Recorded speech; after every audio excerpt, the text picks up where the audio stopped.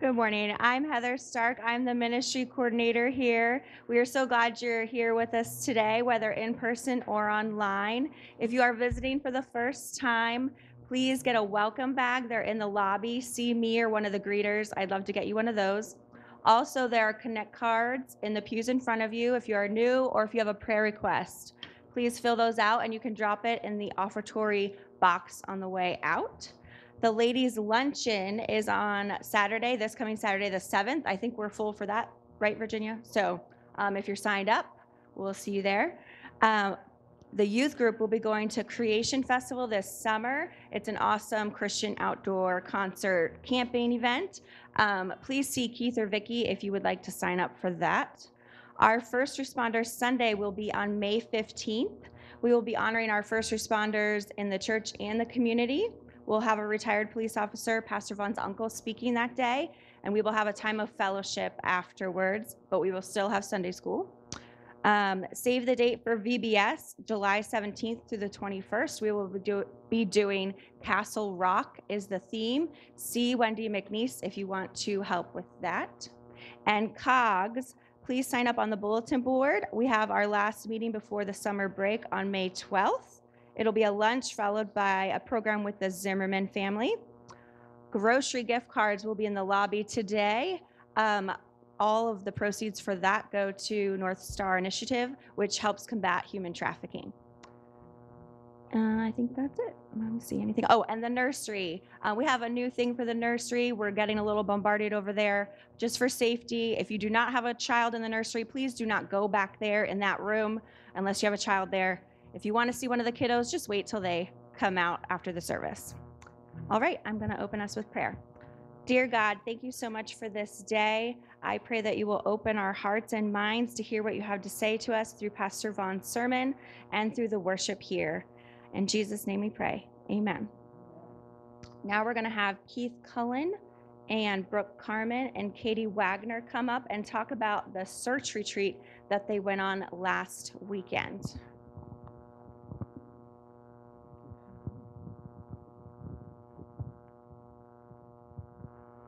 Well, good morning. Hey, you guys look great. It's good to see you.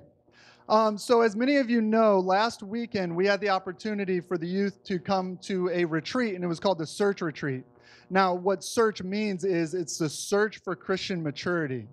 And as we went, what I was told before going is this would be an opportunity for the kids to grow in their relationship with God, grow in their understanding of the gospel and grow in Christian community with their peers.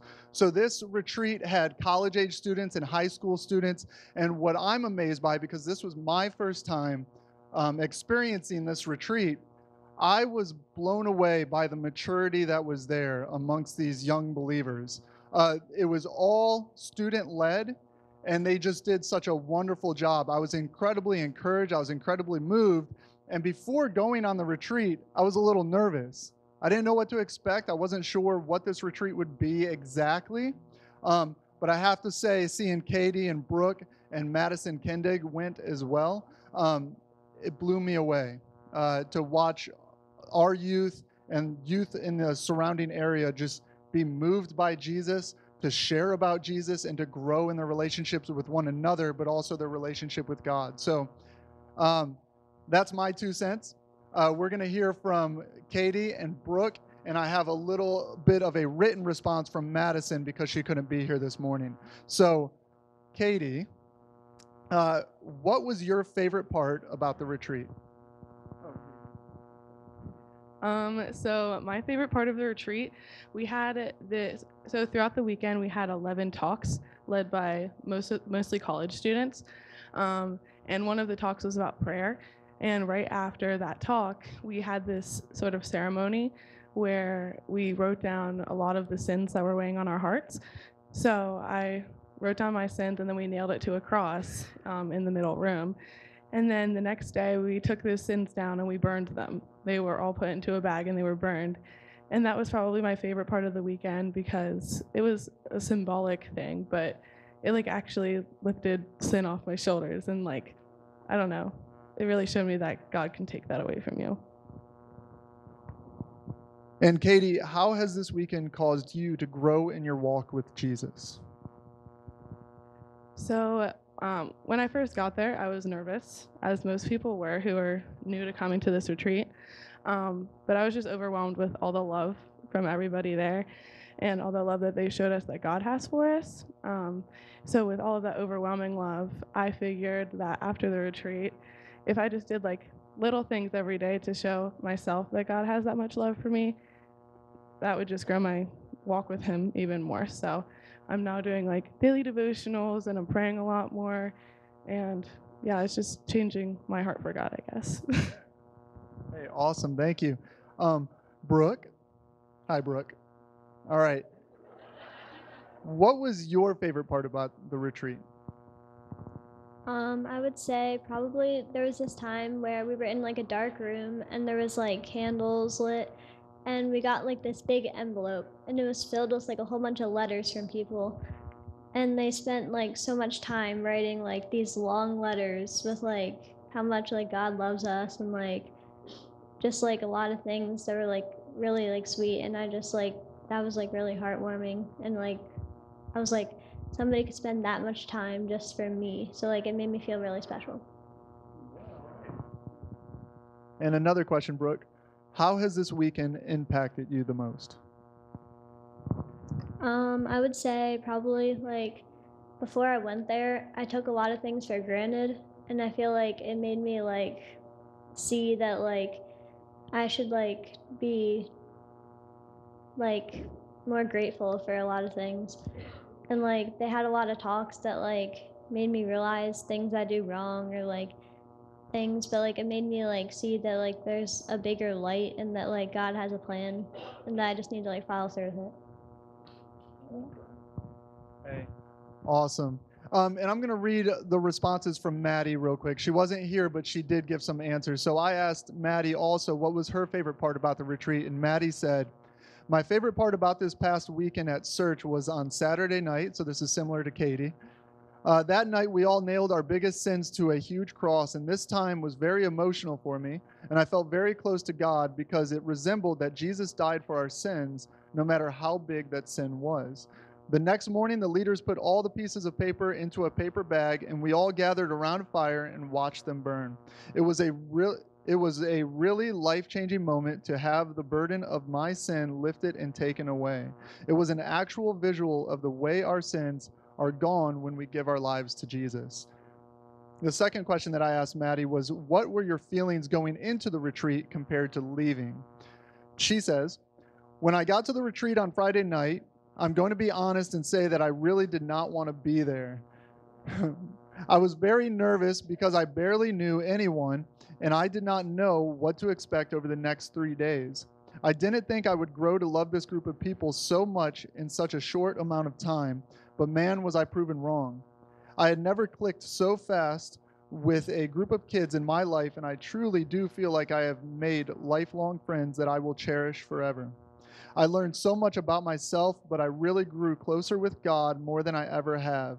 When it came to when it came time to go home on Sunday, I was so sad, but then I realized I was ready to face the troubles of the world with a new outlook, God's outlook. He has really worked in me this past weekend, and I feel like my life has been changed for the better. I am so grateful for this experience, and God is good. Um, so I just want to thank everybody for praying for our time and for supporting uh, these young ladies to go on this retreat. And uh, truly, for me, it was just so impactful. The whole time I was at the retreat, I'm just watching these young girls grow, and I'm watching you guys grow with the whole group uh, who were there, and it's just awesome. Uh, so, and I know Maddie wanted to be here to stand up and share this in front of you, um, which would have been a lot better than me sharing it, but it's great to hear from her. And also, I learned that Brooke likes to read. I saw her reading all those letters, and I was like, I knew it. I knew you liked reading, but also, um, we are just encouraged to see you ladies step up and share this uh, with us. So I would like to pray uh, for these two and for Maddie as well. Let's pray. Father God, we love you. We thank you so much for this uh, this past week, and I can't believe it was already. Uh, uh, it's been a whole week since we were at this retreat, and Lord, it was just such a wonderful time to grow in our understanding of who you are and how much you love us. And Lord, to grow in Christian community and see that when we gather together, when we when we come together and, and learn about you and share your love with one another, um, Lord, you are exactly who you said you are. Um, you have made a way for us to have peace with you. Our sins can be lifted, as these ladies have shared. Um, and Lord, sometimes we just need that uplift to remind us that you truly do love us. So, God, may we love you because you have loved us first. We love you, Jesus. I thank you for these ladies. I pray that their faith would continue to grow as the next coming weeks uh, just come and the, they reach the end of the school year. I pray that they finish well and continue to be a light in their school, in their workplace, and in their families and here in this community. We love you, Jesus, and we thank you for this opportunity. And it's in your name we pray. Amen.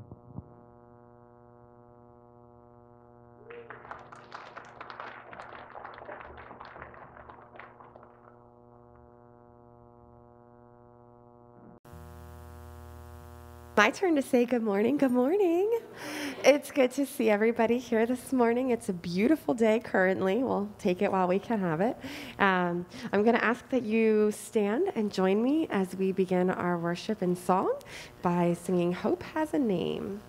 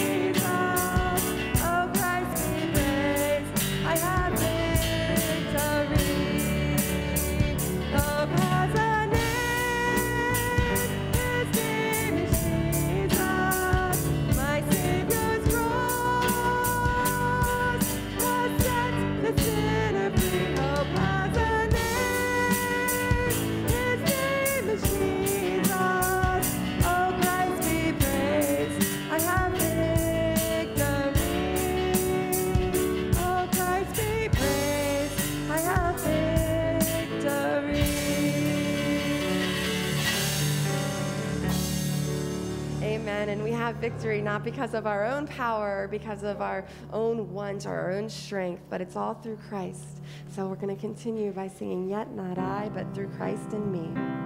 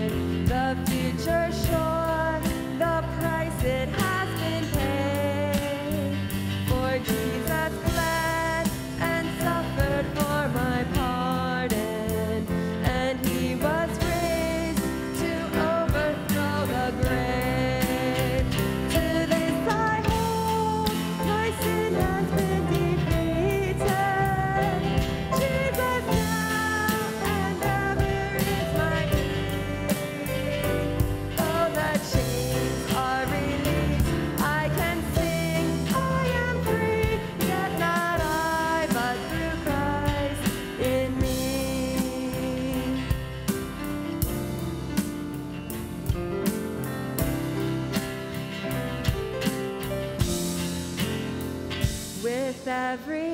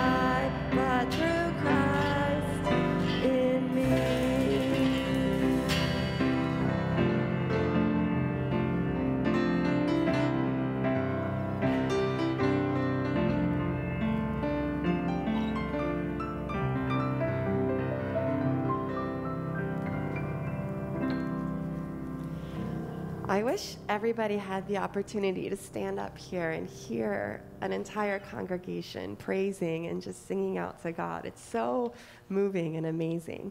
Um, and as you can probably hear, I really need your voice today. So it's beautiful. Keep it up. We're going to continue singing above all.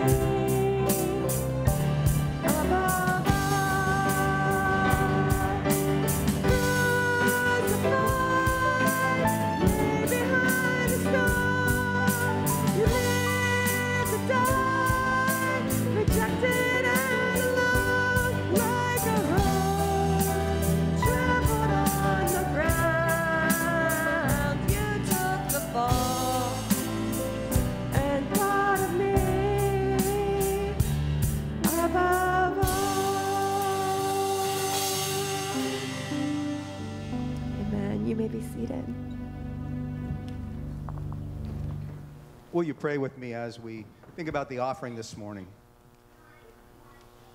Father, we're told that you love a cheerful giver. So I pray that as you look at our hearts this morning, you'll see that, that we have a lot of joy in our hearts because you are such a good, good Father and that you care for us and provide for us in so many ways.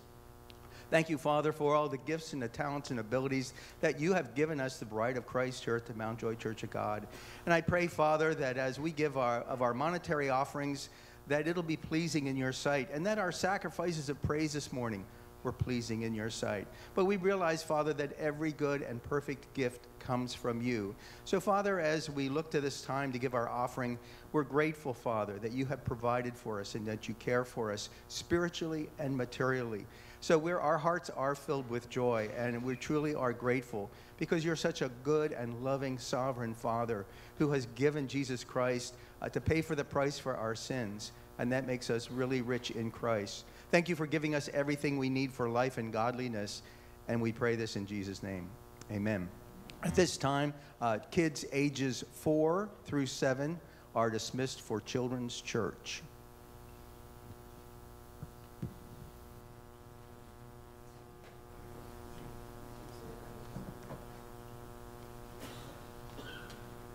So we made a last minute decision. You can see communion uh, elements sitting down here, but we made a last minute decision this morning to go back to our cups.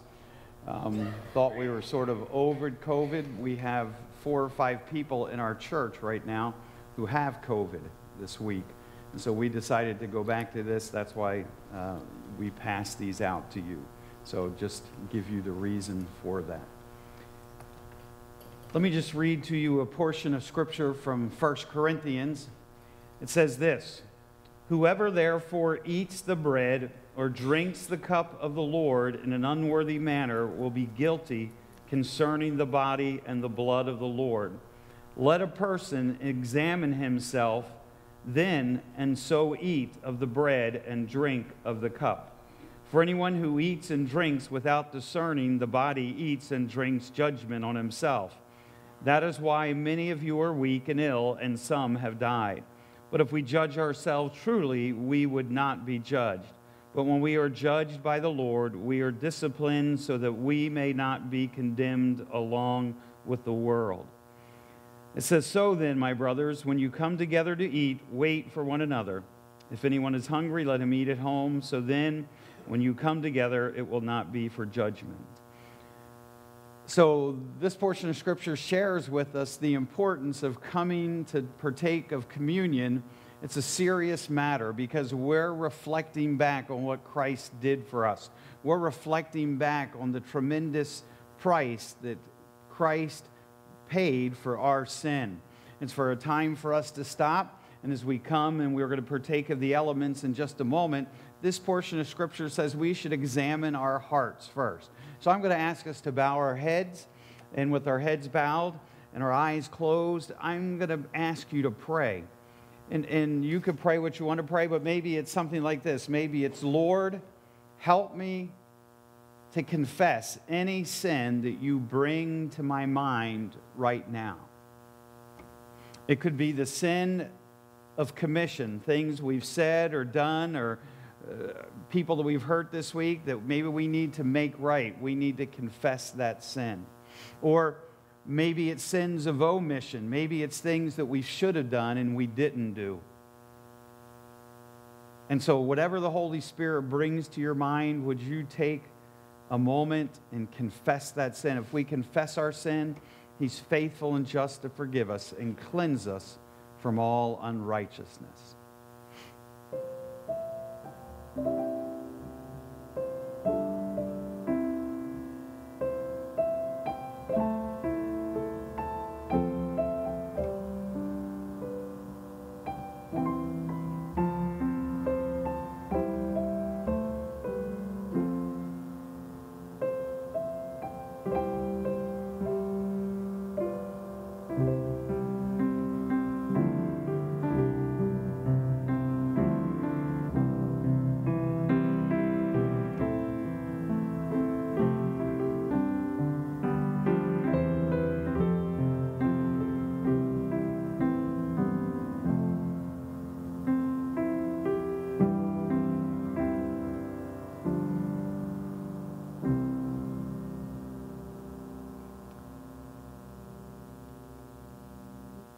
Father, thank you that you are a God that forgives our sin. Father, there's not one of us here that deserve to spend eternity in heaven with you. The best we can do is as filthy rags, as the book of Isaiah says. But Lord, yet while we were yet sinners, you died for us. Lord, we are so thankful for your love for us. We are so thankful for your grace that is fresh and new every day. Lord, we are so thankful for your mercy that you show us. And so, Lord, as we stop this morning and we reflect on what you did for us at Calvary, Lord, when you gave yourself willingly, Lord, your life wasn't taken, it was given willingly. And Lord, so we are thankful that you loved us that much. So, Lord, thank you for your broken body. Thank you for this wafer that reminds us of your body that was broken for us. It's in your name we pray. Amen. Open your wafer there, and I'll read the scripture. It says, He broke it and said, This is my body, which is for you. Do this in remembrance of me.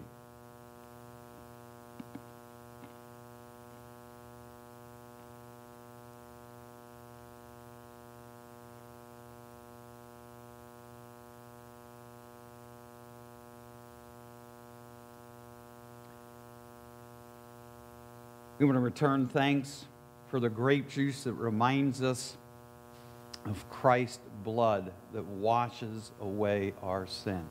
I'm going to ask Pastor Keith. Keith, if you would stand, excuse me, if you would come here and uh, pray.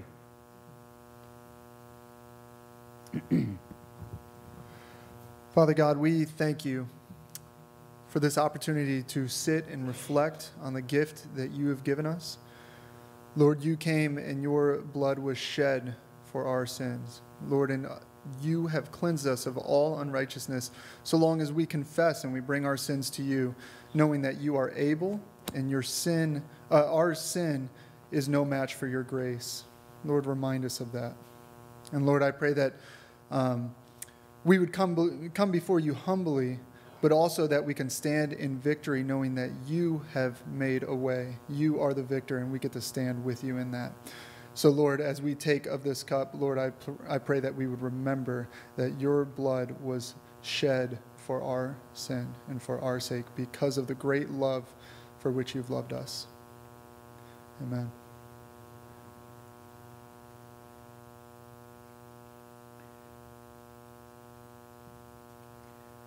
Once again, the Word of God says, In the same way, he also took the cup after supper, saying, This cup is the new covenant in my blood. Do this as often as you drink it in remembrance of me.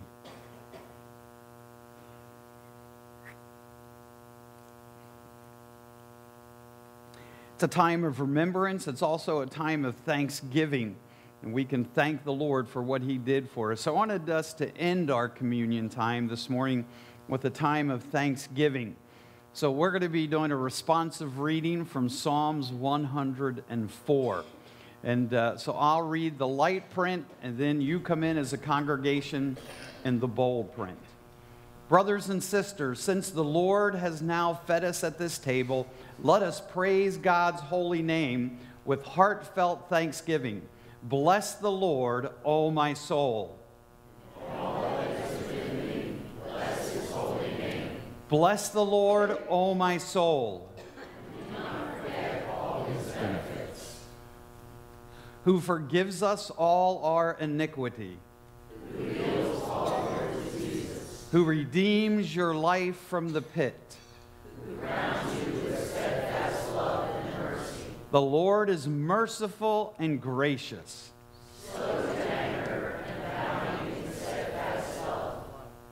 He does not deal with us according to our sin. For as the heavens are high above the earth,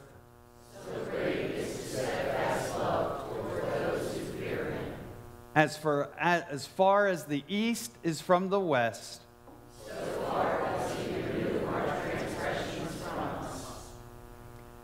As a father has compassion for his children, so the Lord has compassion for those who fear him.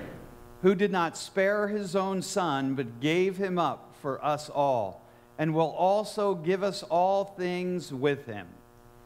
Therefore, mouth and heart show forth the praise of the Lord from this time forth, forever. Amen.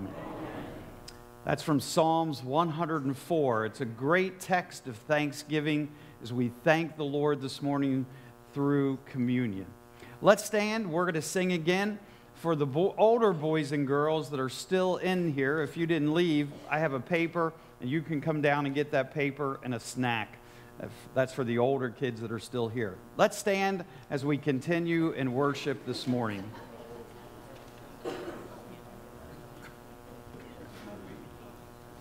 We're going to continue with the song My Story. And I believe this one may be a little bit newer to some of you, or at least newer inside here the, in this church currently. Um, however, those of you who, um, you know, grew up with hymns, keep an ear out, keep a heart open. Um, there's a little throw in here for you. So um, we'll continue with my story. my story.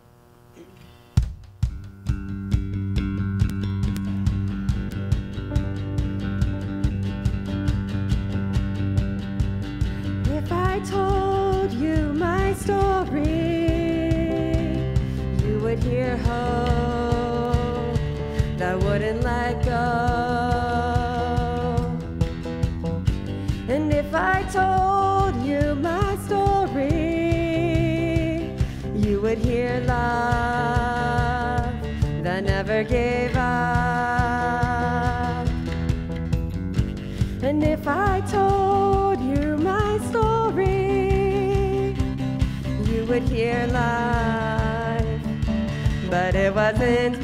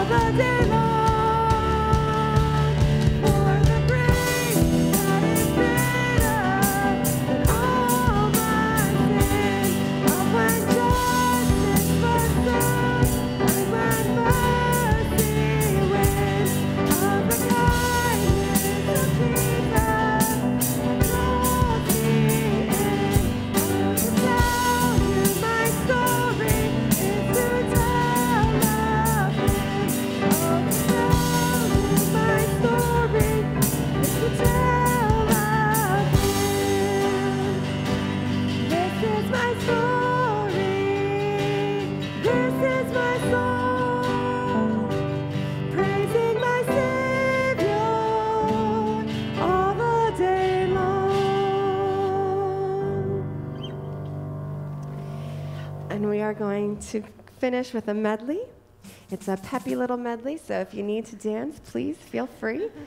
Um, it's, uh, we're going to go one right to the other. You'll be familiar with them.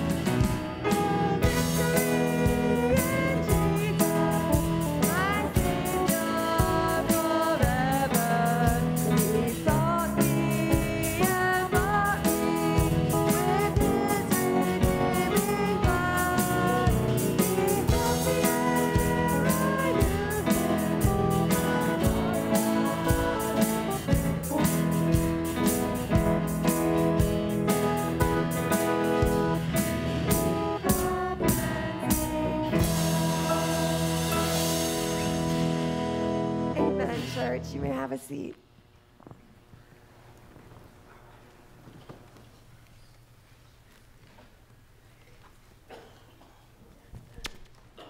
Amen. Thank you, praise team. Well, if you have your Bibles, turn them to Ephesians chapter 6. We're going to be looking at just three verses today. And then next week, we will be finishing the book of Ephesians. And uh, been a journey. I know we started last September and we'll finish. And then we have several things going on this month. Pastor Keith finishes the month preaching for us. And then we go into the month of June and uh, we start our series called Hot Topics. Somebody asked me this morning, will we be publishing what those topics will be? And in the next week or so, we will be publishing so you can choose the weeks you want to come and not come. no, not really. But uh, we will be publishing so you know what those hot topics are that we'll be covering. Let me just say before I preach this morning, um, just a, I want to consider it a housekeeping thing. Daryl and Jane Groff, this is their last Sunday with us. And I hate to see them go. I prayed against it, I told them. But uh, I saw about a month and a half ago, she posted to pray for them. They had something, and uh, I asked her a couple weeks later, what was it? She had a job interview. Was it Idaho? Idaho. Idaho. And uh, she went out to that job interview and uh, they offered her the job the same weekend. Daryl got a job out there. And so, even though I prayed against them leaving, they prayed harder. so, uh, but I'm so excited for them. And uh, so, at the end of the service today, I'm going to ask them to stand at the back door with me.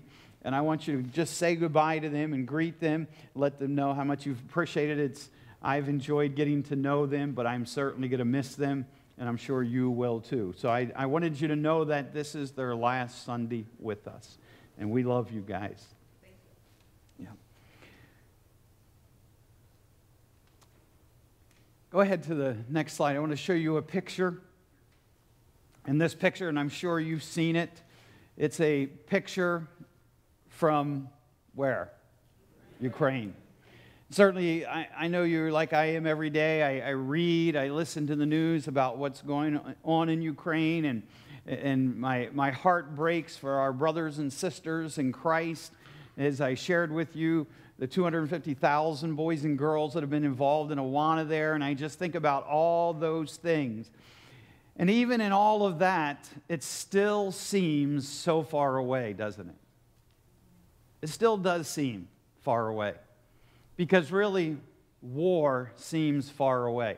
I, I wanted to do something this morning uh, uh, just to start the message a little bit different. I want all of those men who served our country to stand. Would you do that? All of those men and women. I'm sorry. Sorry about that. Can beat me afterwards for that one. So I want to give them a hand.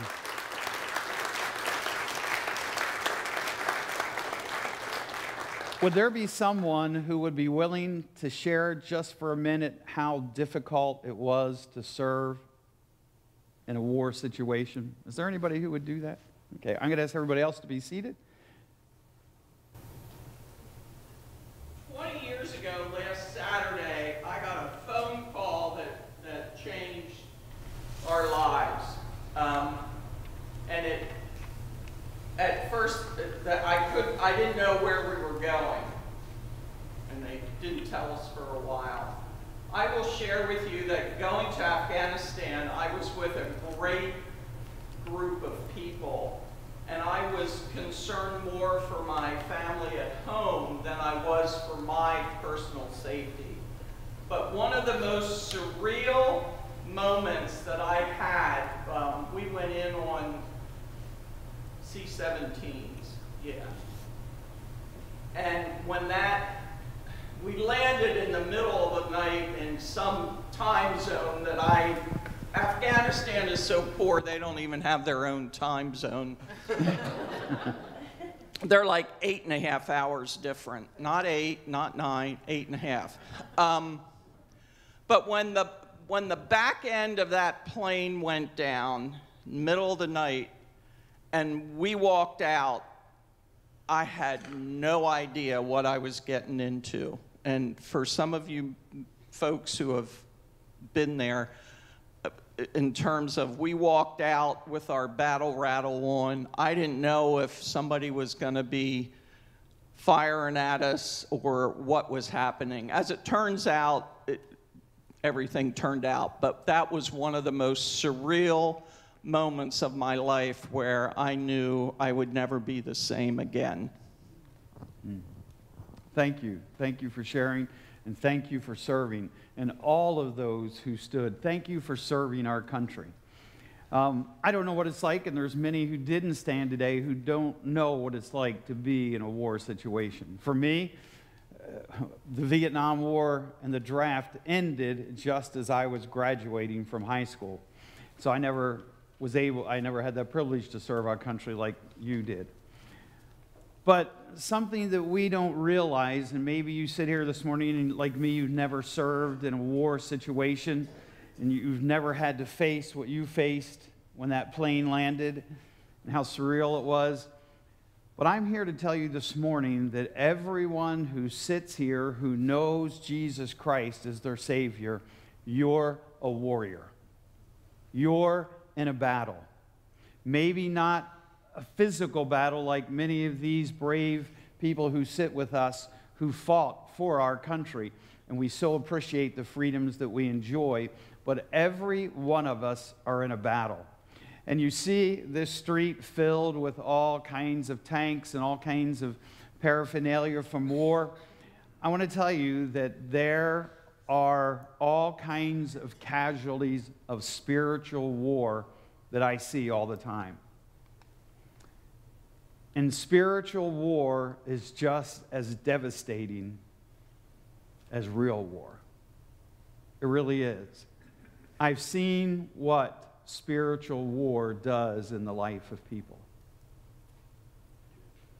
I watched a young man named Wayne who had so much potential. So much potential. I watched him come to Christ. I remember baptizing him. I remember working with him.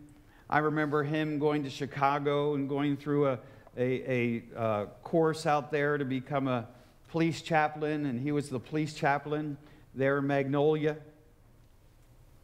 But he warred with heroin. Eventually, he would have to give up his badge because he went back using heroin again, and eventually he walked away from Christ. His son would die of heroin. I'm sure there are many other stories of casualties in this spiritual battle.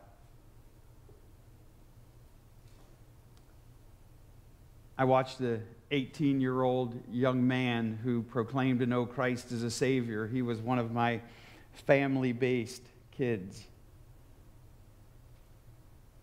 I watched him battle with marijuana, and he got some bad synthetic marijuana, and it killed him. I remember going to his funeral and just standing there crying because he had lost the battle. Now, overall, I believe he's in heaven and he won the victory, but here on earth, he lost the battle. War is costly. And that's where we find ourselves in the text this week and next week. So let's read our text. Go to the next slide. So, walking out life, it says to stand strong. And our two verses here, or three verses, go ahead to the next slide. I think maybe one more, I'm sorry. It says, Finally, be strong in the Lord and in, and in his mighty power. Put on the full armor of God so that you can take your stand against the devil's schemes. For our struggle is not against flesh and blood, but against the rulers, against the authorities, against the powers of this dark world, and against the spiritual forces of evil in the heavenly realms. There is a lot said in those three verses, a whole lot. And the first thing I want you to realize again is the context. The context of this is very important.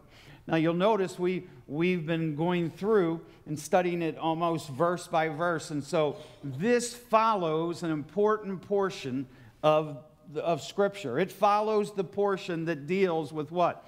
Husband and wife relationships, parent and child, child to parent relationships, and then in the work area, employed employer. So it's right after that that he deals with this thing of spiritual warfare. So let me just start off by saying this this morning that sometimes the greatest spiritual warfare takes place in the home. It really does. It takes place in marriages. It takes place between a husband and a wife. And why? Why is there so much spiritual battle goes on between husbands and wives? I'll tell you this because in the scripture we read in Ephesians, it says that the marriage is a picture of Christ and his bride. Think about that that the marriage, your marriage, if you sit here this morning, your marriage is a picture of Christ's relationship to his bride, the church. And if there's one place that I believe Satan wants to destroy and Satan wants to attack, it is the home. And so he's going to do everything he can to bring disharmony. He's going to do everything he can to bring trouble within to a marriage. That's why, even within Christian marriages, there's not a whole lot of difference between the world's divorce rate and Christian divorce rate. That's why, listen, teenager, you sit here, and I want you to realize the reason you struggle uh, with obedience towards your parents is because Satan wants everything that you can do. He wants you to be disobedient. He wants to break up the unity of your home. The parents, the same thing. Why do you struggle sometimes with your kids? It's because Satan wants to destroy the home. And then again, we could go into the workplace, and I see many Christians who struggle in their workplace also. It's because, listen, if Satan can destroy your testimony in your workplace, that's your mission field. See, it's like missionaries who go to a different country and end up struggling and get sent home by their mission board because they couldn't make it. When you go to work and you're not living the type of life that you need to live for Christ, you're ruining your mission field. That's why the struggle is so great. That's why the battle is so great in these areas. And so that's why he's going to share with us how we need to stand within this battle. And, and Bob pointed out this morning back in our devotional time in the back, he talked about the word stand, and, and it's there several different times. It's in verse 11. He says that you may be able to stand against the schemes of the devil. Then down in verse 13 that we'll look at next week, therefore take up the whole armor of God that you may be able to withstand in the evil days. Uh, having done also stand firm. And then ver- verse 14, stand therefore having fastened. So this word stand is important. This word here, he's saying, listen, I need to take a stand. I need to stand. And so we're going to be talking about how do I stand and what do I wear to stand and what does that look like this week and next like next week. The battleground is spiritual warfare goes on every day in your life. The devil will try to stir up doubts in our minds and divisions in our churches by undermining our confidence in the gospel and in the word of God. Our goal is to our goal is to survive, to hold our ground, standing firm together in the gospel conviction. To stand firm to the end is to win, like the way Eleazar did. Eleazar was one of David's mighty men. And uh, when, all of, when all of the rest of the Israelites ran from the Philistines, Eleazar stood. It says this in 2 Samuel it says, He stood his ground and struck down the Philistines till his hands grew tired and the sword froze to his hand. The Lord brought about a great victory that day. Your enemy, the devil, is like a lion, the Bible says. He's what? He's moving to and fro, seeking whom he may devour. And the Bible says he is a what? He is a roaring lion. And do you know when a lion roars? A lion roars when it's about to attack. That's why it says, and listen, Satan is always about the business of attacking us in whatever areas he can. So, how, how do we how we look at this battle? How are we going to do it? So it says, finally be strong in the Lord and in the strength of his might. So that word finally, he's saying, listen, we're getting to the end. This isn't any less important than anything I've said before, but we're at the end now. This is the last part. It's just as important as the first part of this book. So he said, but here we are at the end. So, how do we? And the, so, the first thing we're going to look at is the preparation, the strength that we have in the Lord, because he says, finally, be strong in who? In my might? Be strong in who? In who? The Lord. the Lord. Doesn't say to be strong in your preacher, it says to be strong in the Lord, doesn't it?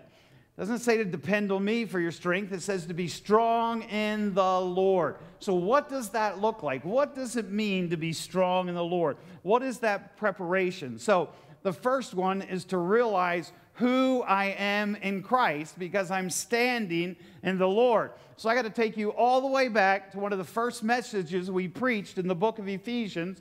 And uh, we preached it over a couple different weeks, and this was the mirror that we'll brought back. It's a great way to end our series, the same way we started, because in that first book, that first chapter of Ephesians, we found out who we are in Christ. That's sort of what we've been talking about. Who are we in Christ? And so we, we when we look into the mirror, this is who we are. I'm a saint. I'm a saint who sins what? Occasionally. I, I'm a saint, though. Don't call me a sinner. I'm a saint. That's a big thing. We, and we said, we said that right from the beginning. I'm a saint who sins occasionally. If, if I say I'm a sinner, that's like I'm giving you permission to sin. No, you are a saint who sins occasionally. I'm loved. I'm saved. I'm God's handiwork. I'm alive in Christ. I'm blessed. I'm chosen. I'm adopted. I'm redeemed. I'm forgiven. I'm sealed. I am rich in eternal blessings. And one of the things that we have that we can stand firm in is who this is who I am. So when Satan comes at me, I can say, Hey, Satan, let me tell you who I am. Let me tell you who you're fighting with. Let me tell you, Satan, I'm a saint. I'm loved by God. Man, Satan, get out of here. I'm saved. I know where I'm going to spend eternity. Hey, Satan, listen, I'm God's handiwork. He's not finished with me yet, He's still working on me. Let me remind you, Satan, I'm alive in Christ. Just like Christ arose victorious over death, I identify with that. That's who I am in Christ. I'm blessed, Satan. I'm chosen. Let me tell you, Satan, before the foundation of the world, you, God, chose me. So get out of here. Do you ever talk to Satan like that? You should. You should. Listen, this is who we are, man. I'm redeemed. God paid a tremendous price for me, Satan. I've been bought and I'm forgiven. Don't, don't keep throwing my old sins at me. Don't keep throwing them at me. They're already under the blood. They've been as washed away as far as the east is from the west. Let me tell you, Satan, when you remind me of those old sins, they're gone. Tell Satan, hey, they're gone, Satan. This is who I am in Christ. And the greatest thing that we have is our identity in Christ. And so the preparation, I don't stand in my own strength. I stand in the strength of who I am in Christ. Not that I'm the preacher here, not that I'm this or that. I stand in who I am in Christ. That is preparation for the battle. And every day we need to remind ourselves who we are in Christ. I don't stand in my own strength. I, it says, Be strong in the Lord and in the strength of his might. The second thing is, I need to remember not only who I am in Christ, but I need to remember that the victory is won. The victory's already won. In the ultimate sense, the church battles with Satan's are already won. In his crucifixion and his resurrection, Jesus destroyed Satan and his power of sin and of death. Trust in Jesus Christ initiates that victory for us. Now, listen, as long as we're on earth, we're going to lose some skirmishes. But the victory, the overall victory, has already been won. It's already been won. You can't take it away from me. When I die, when I die, and Pastor Keith does my funeral, he's going to stand up here before you and he's going to tell you listen, he's more alive than he's ever been before. Why? Because I'm going to be walking the streets of gold. I'm going to be in heaven. I'm not going to be struggling with sin anymore. Why? Because the victory's already won. And I know this is a morbid thought, but some days I get up and some days I think, man, it would be great just to be dead and in heaven. And amen, that's right. amen. I know my wife doesn't like to hear that. But some days I think, man, it would just be great to go to heaven, wouldn't it? It would be great to wake up. Why? Because the victory's already won. And then, how is this strength that we're talking about here, how is it appropriated? How is this, what's the appropriation of this strength? And it comes through the means of grace, it comes through prayer, it comes through knowledge of obedience to the word and faith to the promises of God. Let me tell you, this, this strength that we stand in has appropriation through prayer. We're going to see next week that prayer is one of the, one of the offensive weapons. My other offensive weapon is the Word of God. If you're not reading God's Word and you're not praying, you're not on the offensive against Satan. That is, uh, we're going to see it next week and how it works. We, we need to take up the Word of God. I am so thankful for this little lady right on the front row here, Nikki. You know why? because I challenged you guys to memorize scripture. And every month, every month, January, February, March, and April, she's come to me and said her verses. There's one of the greatest warriors in our church right there. I appreciate that so much because she's memorizing God's word. She's memorizing God's word. I, I love our Awana program. I love our boys and girls on Wednesday night saying scripture. That's why we do Awana, so we can hide God's word in their heart. Little Jared and Sabrina's little daughter, Lila, she comes to me, and I don't know how many times she's quoted John 3.16 to me. Every time she comes up to me. I loved it last week. We were downstairs, and the kids were waiting in a line, and, and some, one of the little kids, I think it was Chloe, said, Oh, that's Pastor Vaughn. And Lila says, No, that's Pastor Dick.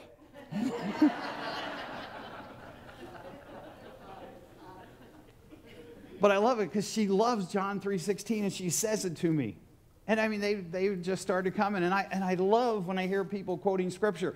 It's our, it's our offensive weapon, it's our appropriation for the strength. God gave us the Word of God to memorize, to hide it in our heart, to meditate on it. God gave it to us because we need it for the battle. And we need prayer. Prayer is an offensive weapon, and we'll see how to use it next week as an offensive weapon. But that's our appropriation for the battle these weapons that He's given us to use. And so, when we think of our strength, it comes through how? By realizing who I am in Christ by realizing the victory's already been won. I'm already on the winning side. And then using the appropriation of the things, prayer and grace and God's word and obedience to the word of God and standing on the promises of God's word. When I do those things, I can have victory. And then he says in this portion, but put on the whole armor of God Put on the whole armor of God that you may be able to stand. And so here's the provision. First of all, it's a permeance. It's not talking about putting on and taking off and putting back on. This scripture, the way it is written here, is saying that we should always wear the full, armor of God. You know, it, it's not a uniform to wear on occasion, it is something that I wear all the time. It's something that I keep on even when I'm laying in bed, that I'm already ready to do uh, battle no matter what. And so I wear that armor all the time. And we're going to look at each piece of the armor next week. But this is what he says listen, this armor I've provided you. And it's interesting that when Paul is writing here the book of Ephesians, in the very first chapter, we reminded you that he's a prisoner and he's probably chained to a Roman soldier. So as he's writing this book, it's easy for him to, to, in a sense, get this allegory in his mind of what he's going through because he's chained to a Roman soldier. And so he sees that soldier's breastplate and he sees that soldier's shield and his sword and he sees all of these things. He sees his sandals, how his feet, Lord, have those sandals. And we're going to see how each of those are so important next week. But he said, Listen, I need to stand firm. When used in a military sense, it had high, the idea of holding a critical position. I have a critical position that I'm standing here with my battle gear on. And we have to realize that as a Christian, we do battle all the time. And then who is our enemy? Look at it. It says, He says, For we do not wrestle against flesh and blood, but against the rulers, against the authorities, against the cosmic powers over the present darkness, against the spiritual forces that are evil in the heavenly places. So, the first thing he says is this He says, We wrestle. We wrestle. Now, we have some wrestlers here. I know that. I'm one of those wrestlers. And uh, I love wrestling. I, I love the, when the college wrestling is on. I love to watch, and I, I, I especially love Penn State. They got a tremendous wrestling program, better than Ohio State. But I love wrestling.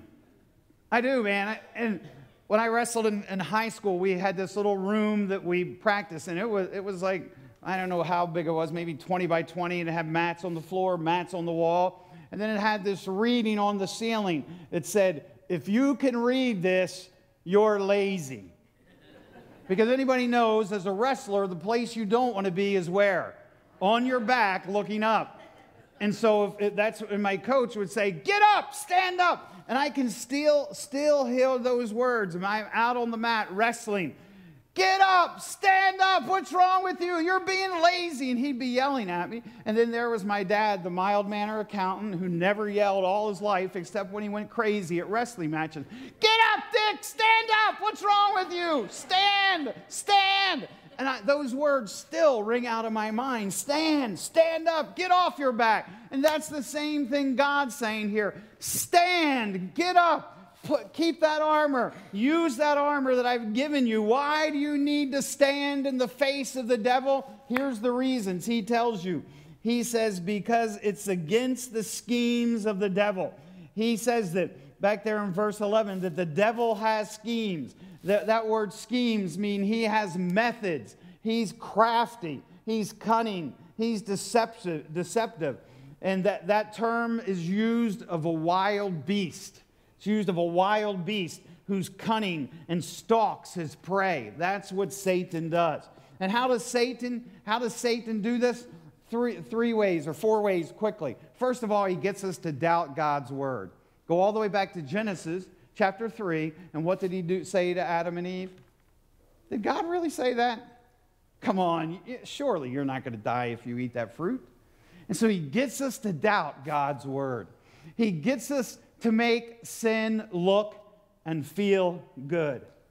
He gets it. Every time I do these things I should not do, they make me feel good. The Bible calls that in Hebrews chapter 11 the fleeting pleasures of sin. I'm not going to stand up here and tell you that sin doesn't have pleasure. Sure, it has pleasure. Sure, it does. And that's one of the things that Satan does the, the lust of the eyes, the pride of life. He makes sin look good. Man, that, that drug or that alcohol or whatever it is, it's going to make you feel good, or sex It's going to make you feel good, but let me tell you, there's always a price to pay. There's pleasure, it says, for a season. Do you get that? There's pleasure and sin for a season. But then the Bible says you're going to reap what you sow. You're going to reap what you sow. And you're going to reap in the kind that you sow. And I would use the story of David. David committed adultery, committed murder, and he rebelled against God. What did he sow in the life of his family? Adultery, murder, and rebellion against God. What you sow, you will reap. But Satan won't remind you of that. I remember I grew up in the era where cigarette commercials were a big thing on television. And wasn't it amazing that everybody who smoked had, I mean, first of all, it started with the cowboy look. Remember that? You know, Marlboro Man. Or, or, you know, alcohol commercials. I mean, have you ever seen them show cirrhosis of the liver? Have you ever seen a commercial that starts out, let me show you cirrhosis of the liver. This is what it looks like if you drink all the time. You ever see that? No, you don't see that, do you? You don't see, they never show you lungs filled with cancer, do they? Hey, let me show you some lungs filled with cancer from smoking. They don't show you that stuff on television, do they? No, because they always make sin look good. Doesn't it? Or if you could drive this kind of car, this is what you'll be like. You'll have it all. You'll have it all. Just, just buy this car. If you could drive this Mercedes Benz, this is the type of life you would have. See, Satan always makes sin look good. Not only that, but Satan has all kinds of lies. He's full of lies. Sin is attractive because it brings us pleasure. And he, and he says, Listen, here's some of the lies he tells us. You've fallen again. There's no hope for you. Have you ever told yourself, Boy, I'm never going to do that again? I'm never going to have that thought again. I'm never going to do that sin again. Never, no way. And the next thing you know, you're doing what? You're doing it. You're doing the same thing. We've all been there if we're honest. I've been there. I'm still there sometimes.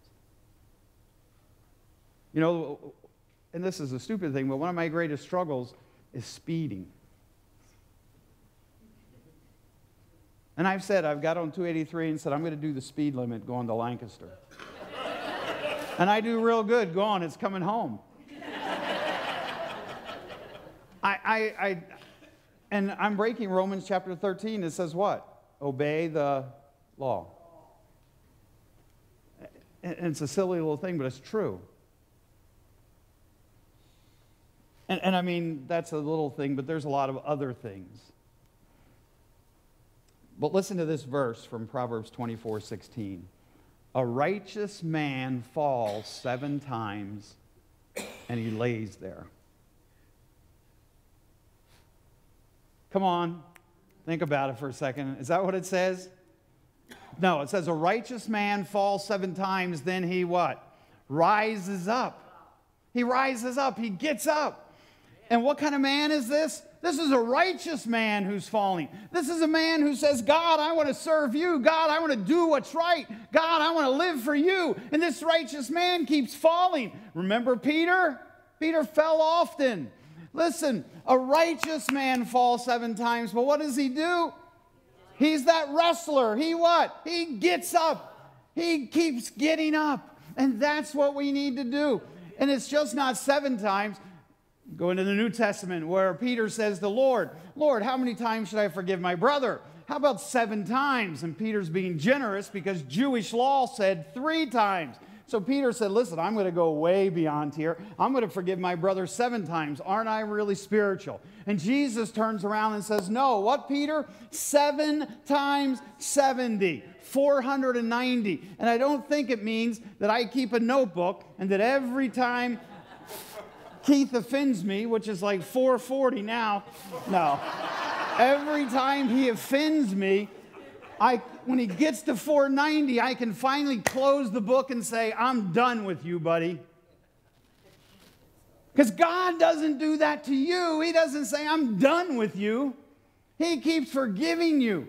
Now, it's not an excuse to sin, but listen, when we fall, Satan will lie to us and say, just keep lying there. Don't get up. You might as well just give up. You're just going to do it again. But a righteous man gets up and goes again. You've fallen again. There's no hope. Or Satan might tell you, you're still drawn to the world and by your lust, so you're obviously not a true disciple.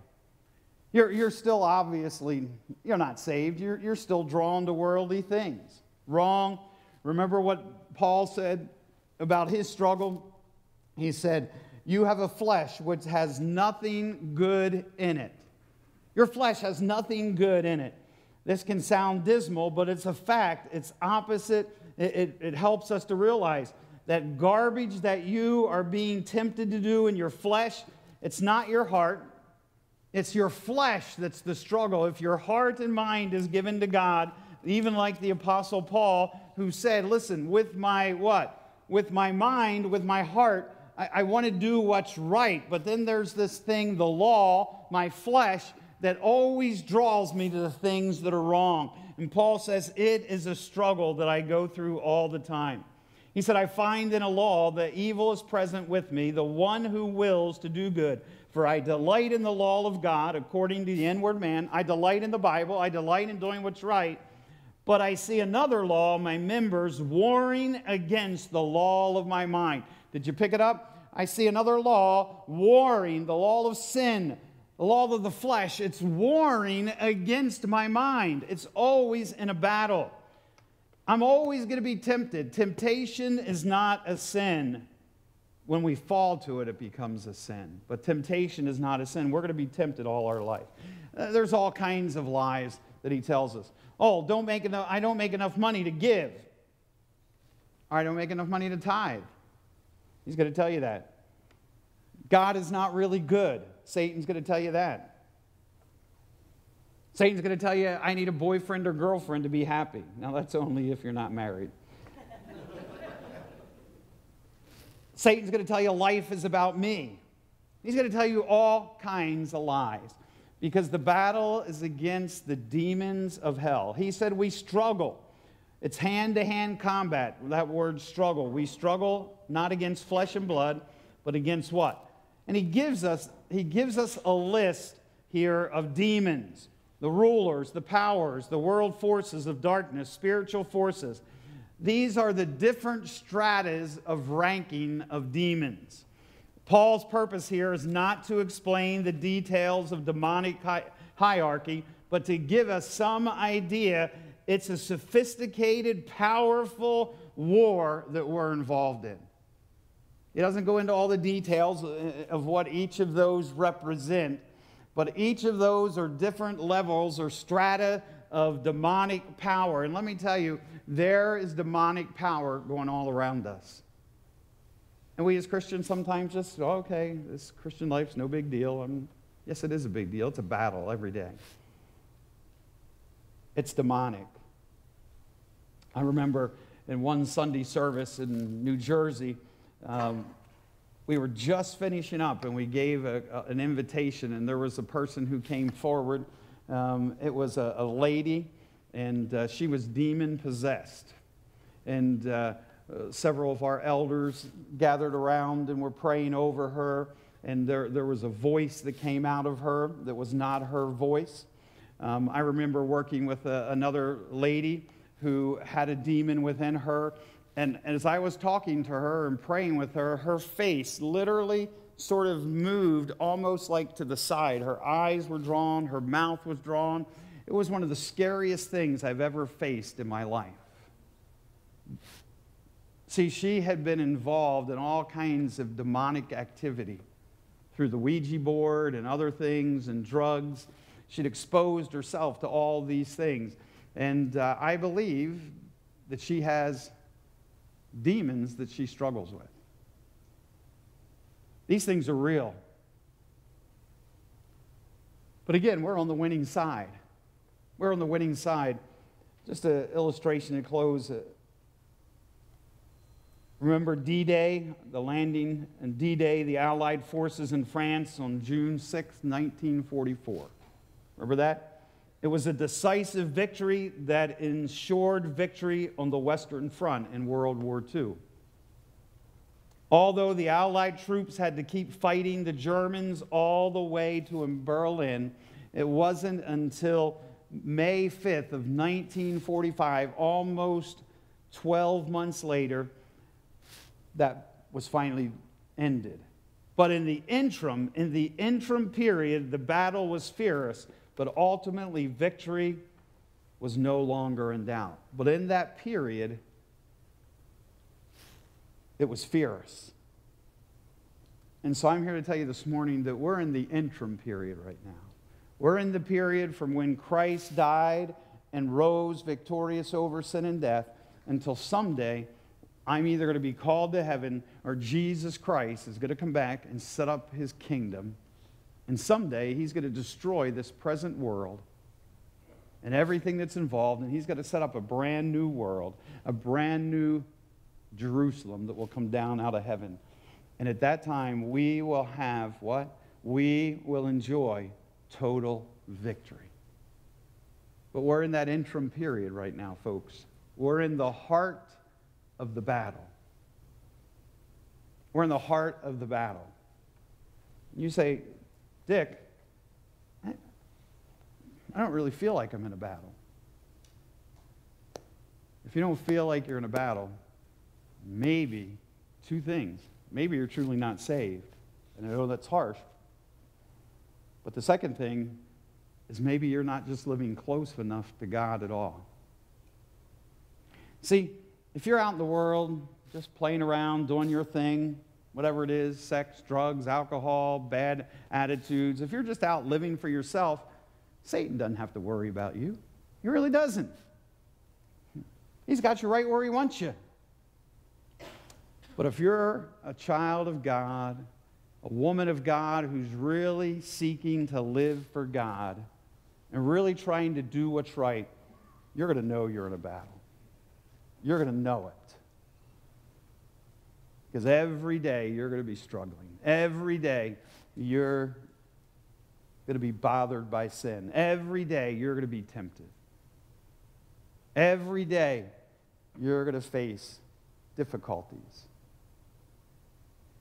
You're going to go through trials, you're going to go through tribulation. Why? Because when you're trying to live close to God, Satan and the demons of hell are going to do everything they can against you. They are. We're in a battle, folks. And if you're not in that battle, you better ask yourself Am I really saved? Or maybe I've just gotten so far away from God, I'm off doing my own thing. I'm, uh, Satan's not even worried about me anymore. He doesn't have to worry because my flesh is winning the battle. Let's pray.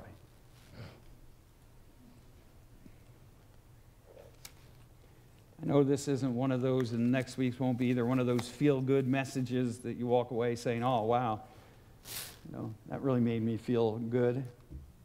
No, this is a serious, serious message today. We are in a battle.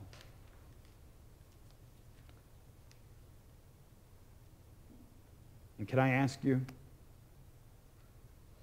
do you feel like you're in a battle? Or maybe you'd sit here to say, Dick, you know what? I, I'm not. I'm not where I need to be with the Lord. And I, we're, we're going to do something we usually don't do today. And I know we're late, but I just really feel led to do this. And I'm going to ask Bob to play quietly. And if you're really challenged about standing for the Lord, or maybe you're challenged today that